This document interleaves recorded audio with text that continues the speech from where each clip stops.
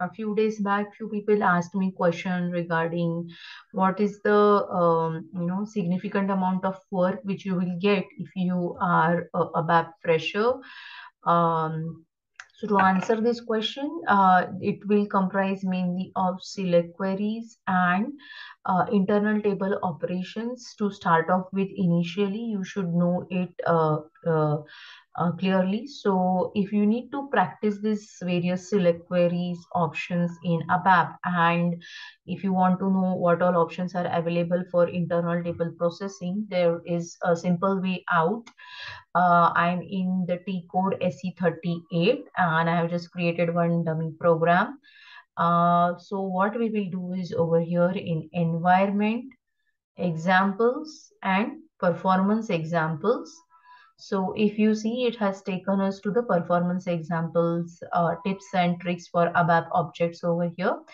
Now, uh, the select queries, there are various options available over here for select queries, wherein you can measure the runtime and see what is the output now most of the select queries no not most most of the select queries might be a little bit outdated primarily because uh, you know now we have s4 hana available but overall you should know how to write the select queries and this will give you the runtime analysis of uh, you know the uh, multiple options over here. And similarly you can replicate it in your uh, you know temporary programs and understand from that uh, the various options. So the first one is over here where versus select and check uh, then comes the check the existence uh, now here in these performance examples, they have used select and end select. Instead of using select and end select, you can replace it with select into table and check the same output wherever it is possible. Uh, the next one is text existence. Select aggregates, which is over here. Then select with the select uh, list, uh, which is available over here. And uh, we give the uh, list of the uh, stuff and then you select whatever you want rather than selecting everything. Then you have column update over here. Then index uh, what happens when you fetch with the primary index and when you fetch without primary index which is given over here. Now with with respect to buffer uh, support uh, then with respect to array operations, as we discussed in one of my videos into table uh, option, which is available over here.